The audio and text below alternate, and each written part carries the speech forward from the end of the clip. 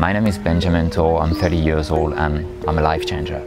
I consider myself today as a shaman uh, working with spirits and spirit magic. I really believe we are here for a purpose. We are here to bring hope in this world, to make a better world. 2012 it was the big shift in my life, the big transition. I'm an ex-commando military from Special Forces in France and yeah, I make the change. I decide one day I can't continue to live this life. It's impossible for me. And, and I commit to suicide. So basically this is how everything started. And I read this quote from Steve Jobs, um, if today is the last day of my life, do I continue to do what I'm about to do today? And, and the answer was no.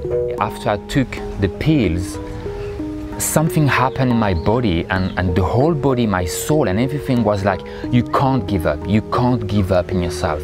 After this kind of awakening consciousness I had and this connection with the source and spirit magic and everything, yeah, I grabbed the chance and I just say, okay, um, I'm ready to leave the army. I have no idea where I'm going. I completely jump into the unknown and it's, yeah, it fucking freaked me out.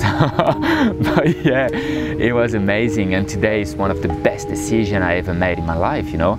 Of course, sometimes I fail, but it's fine. I find the, the courage to forgive myself. And this is definition of self-love.